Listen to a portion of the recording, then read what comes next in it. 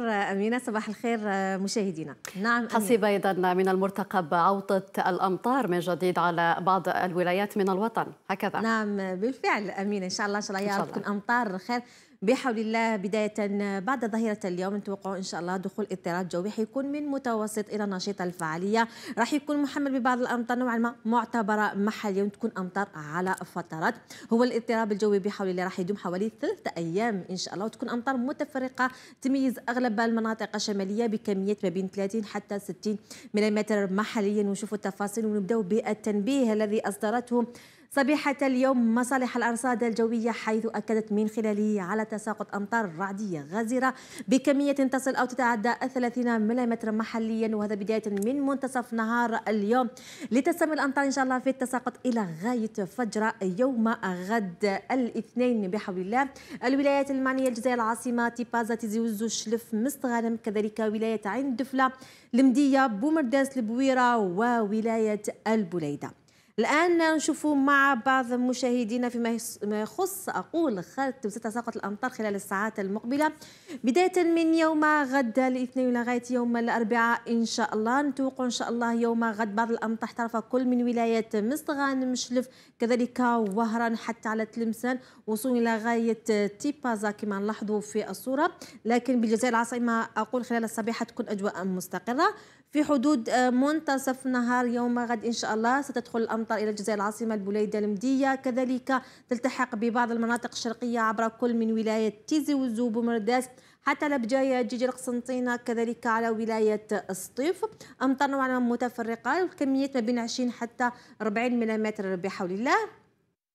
بالنسبة لصبيحة يوم الثلاثاء إن شاء الله مشاهدينا راح تكون أجواء مستقرة على أغلب المناطق الشمالية للبلاد لكن خلال آه، في حدود الساعة الثانية بعد زوال يوم الثلاثاء بحول الله. راح يدخل اضطراب جوي آخر من نوعه لكن كمية نوعا ما تكون آه، متوسطة. حوالي 20 إلى غاية 30 ملم احترف كل من ولاية تلمسان سيدي بلعباس وهران. معسكر سعيدة وكذلك ولاية مستغانم حتى على ولاية شلف وتيارت يرتقب إن شاء الله في حدود الساعة الخامسة من مساء يوم الثلاثاء. ستنتقل الأمطار إلى الجزائر العاصمة البليدة المدية كذلك البويرة بحول الله أمطار نوعا ما كذلك كمية ما بين 20 إلى غاية 30 ملم محليا. تكون أكثر اعتبارا مع فجر يوم الأربعاء على الجزائر العاصمة البليدة المدية. كذلك البويرة بومرداس حتى على تيزي وزوت تيارت حتى كذلك على البير لغواط وولاية الجلفة إن شاء الله. بالنسبة ليوم الأربعاء إن شاء الله تعود ترجع الاستقرار والصفاء.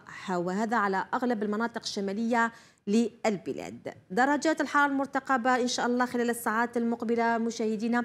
بداية من يوم غدا الاثنين لغاية يوم الأربعاء نتوقع دائما نفس الكتلة الهوائية نفس درجات الحرارة المرتقبة خلال الصبيحة. وكذلك الأمسية. أجواء باردة. راح نسجل ما بين حوالي صفر درجة إلى غاية عشر درجات وهذا على أغلب المناطق الشمالية للبلاد. تكون يعني دون الصفر على ولاية باتنا ميلا وخنشو حوالي درجتين إلى ثلاث درجات تحت الصفر مرتقبة خلال فترة الصبيحة والأمسية. كذلك الهواء البارد المناطق الجنوبية تأثر به وعليه. فإن الأجواء تكون باردة على كل من بشار بن عباس غرداية المنيعة ورقلات وقرت. كذلك بسكرة ولاد جلال والوادي وعليه راح نسجل خلال فترة الصبيحة والأمسية بالمناطق الجنوبية ما بين حوالي 4 درجات إلى غاية 12 درجة. وأعلى مقياس خلال الفترة الليلية والصبيحة حوالي 16 درجة. بالنسبة للظهيرة تبقى دائما الأجواء الباردة تميز المناطق الداخلية وهذا خلال الظهيرة أدنى مقياس حوالي سبع درجات مرتقب على كل من ولاية الجلفة تيارت نعامة مشرية البيض حتى على قسنطينة سطيف برج باريج باتنا ميلا وخش كذلك على قلمة سوق راس تبسة وأم البواقي. ما بين حوالي سبع درجات إلى غاية 12 درجة. أما أعلى مقياس بشمال البلاد سيصل إلى غاية 20 درجة إن شاء الله خلال الساعات المقبلة. بالمناطق الجنوبية مشاهدينا إن شاء الله خلال ظهيرة الاثنين إلى غاية ظهيرة يوم الأربعاء. راح نسجل ما بين حوالي 14 درجة كأدنى مقياس بالجنوب الجزائري وأعلى مقياس مرتقب حوالي 30 درجة وهذا دائما على مدينة إنجزام وبرج بجي مختار. حالة البحر إن شاء الله مشاهدينا بداية من يوم غد الاثنين لغاية يوم الأربعاء يبقى دائما بحر هادئ إلى قليل الاضطراب وهذا على طول الشريط الساحلي كما نلاحظوا في الصورة خاصة يوم غد الاثنين وحتى يوم الثلاثاء مع اتجاه الرياح راح تكون غربية إلى جنوبية غربية على طول الشريط الساحلي وعلو الأمواج لن يتعدى النصف متر إن شاء الله على خاصة على السواحل الوسطى والشرقية ويصل لغاية المتر إلى المترين على السواحل الغربية. لكن إن شاء الله يوم الأربعاء مشاهدينا نلاحظوا آه، حيكون هناك بحر نوعا ما. مضطرب إلى هائج بالخصوص على سواحل مستغانم لغاية سواحل التنس. كذلك وهران راح تكون رياح قوية تلحق سرعتها خلال صبيحة يوم الأربعاء. سرعة الرياح تلحق إلى غاية 60 أو 70 كم في الساعة مع اتجاه موجة تبقى دائما غربية إلى شمالية غربية إن شاء الله بالخصوص على السواحل الغربية. لكن على السواحل الوسطى والشرقية يبقى دائما البحر يحافظ على الهدوء والإستقرار إلى غاية يوم الأربعاء المقبل إن شاء الله.